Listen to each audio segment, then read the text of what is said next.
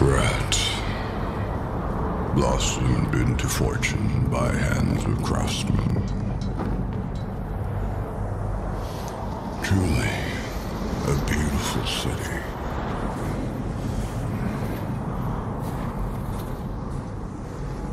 But what use is prosperity against the impending doom that is the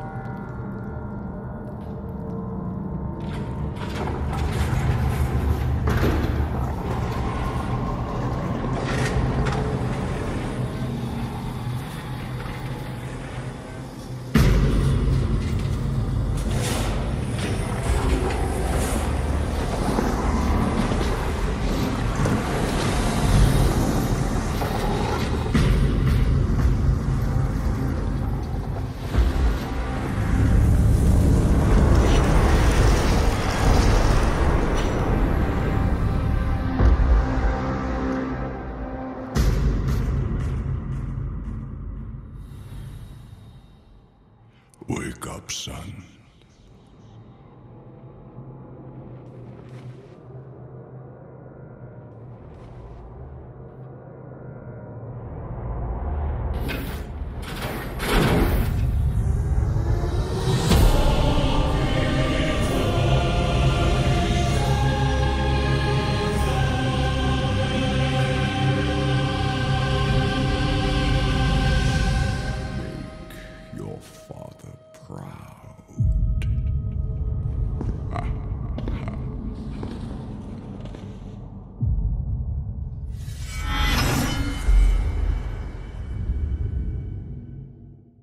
Olha com o que eu esbarrei na internet recentemente, hein?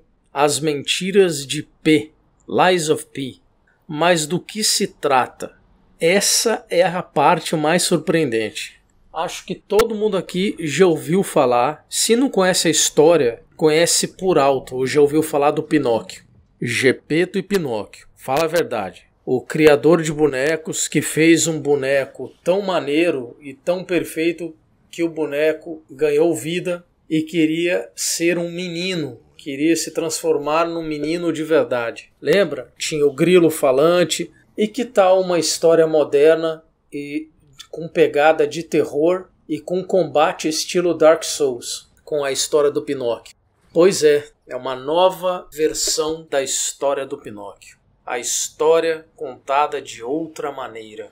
E eu vou dizer para vocês o seguinte: Aparentemente, pelo que eu li na descrição, não é um jogo de terror, embora ele tenha um certo clima, uma pegadinha de terror nele. Mas ele tem o combate lá Dark Souls, ele tem uma cidade abandonada e entregue à praga. Vocês puderam ver ali o, a, a peste negra, né, no rato, e você tem um Pinóquio totalmente malvadão, Pinóquio B10, um Pinóquio que tá mais para um jovem adulto, um adolescente, com os upgrades ali meio steampunk, é estiloso esse Pinóquio aí. E o Gepeto, diga-se também de passagem, tá com cara de ser um pouquinho mais do que apenas um criador de brinquedos, né?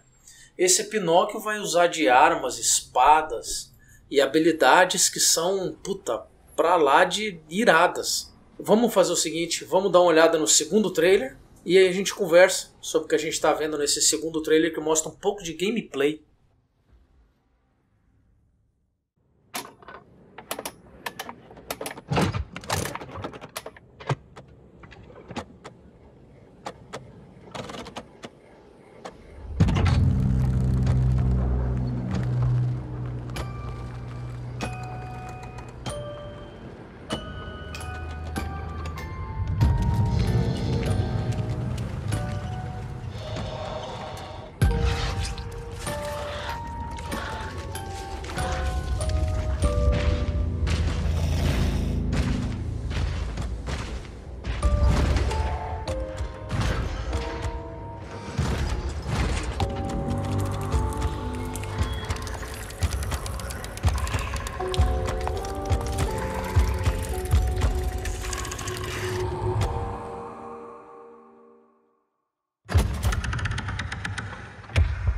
Wake up, son.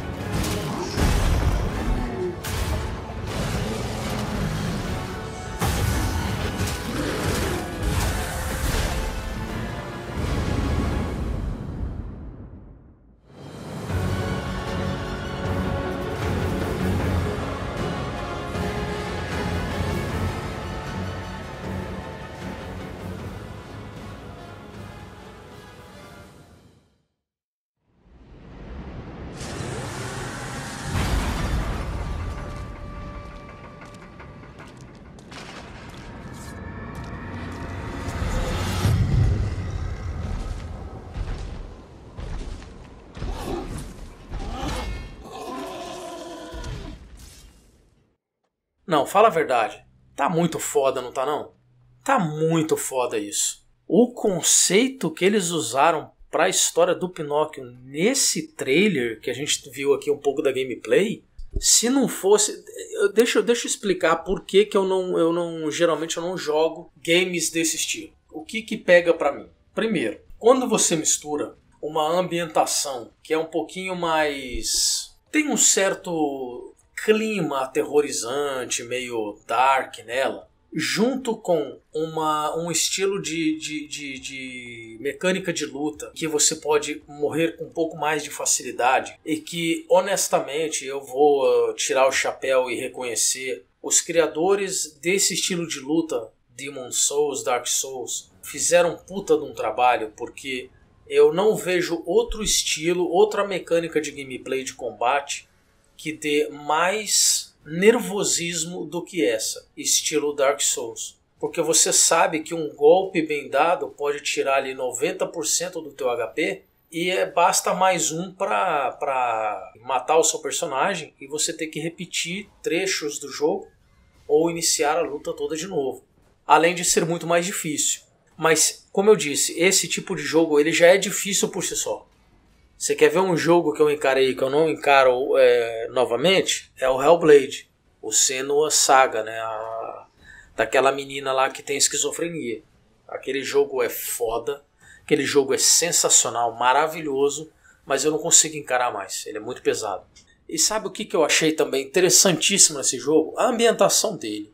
Os efeitos de ray tracing, os efeitos da as, as habilidades diferenciadas, os efeitos de partícula o Pinóquio, o Gepeto, o universo que está tomado por bonecos e criaturas mecanizadas, robóticas, tudo isso, além da, da, da cidade meio gótica e de um leve clima steampunk, tudo isso para mim é incrível nesse jogo. Esse é o típico jogo que provavelmente eu vou zerar no YouTube. Eu vou ver alguém que tenha que tenha disposição de encarar e vou acompanhar esse cara jogando, ou no stream, não sei. Mas vocês podem ver as, as lutas de boss, os minions, entre aspas, e o objetivo. Né? Você vai jogar com, com o Pinóquio entrando na cidade e pelo, pelo que eu entendi, tentando chegar no, no, no local específico, no, no andar específico, no quarto ou salão específico daquele castelo central da cidade. Agora, que esse Pinóquio tá foda para um caralho, ele tá. Eu acho que eu nunca vi um Pinóquio tão irado igual esse. Na moral. Então, se você não conhecia o game ainda, estou aqui apresentando para vocês, lembrando que o que a gente está vendo é uma versão pré-alfa, uma versão pré-alfa dele. Tu curte ambientação de terror, jogos tipo Dark Souls, é, tema steampunk e fábulas infantis reinventadas de uma maneira adulta, a gente já viu as versões mais adultas e, e, e darks da, da Alice no País das Maravilhas, certo? Esse do Pinóquio tem tudo para ser melhor ainda. Eu tô encantado com esse jogo. Quem sabe eu mude de ideia e resolvo encará-lo? Quem sabe? Não vou prometer nada não.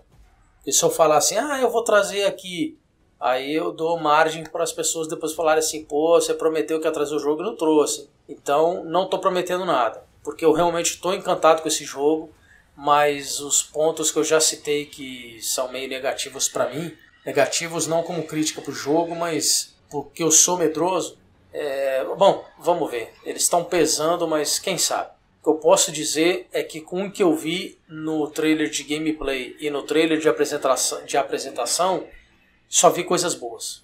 Só vi coisas boas e tem tudo, tudo mesmo para ser um jogo incrível. Incrível. Parabéns ao pessoal da Round 8 por ter tido uma ideia tão maneira como essa de trazer e reinventar a fábula do Pinóquio. Puta, eu nunca teria imaginado uma parada dessa. E ele tá muito estiloso. Desde do, do da apresentação, né, da, da, da, da fonte até o, a apresentação visual do cenário. Sinceramente, Olha, para mim foi provavelmente o trailer de 2021 que tá ali entre os top 5, top 3. Bom, pelo menos para mim. Pessoal, um grande abraço para todo mundo, Deus abençoe e até o próximo vídeo. Pinóquio, hein? Olha o Pinóquio.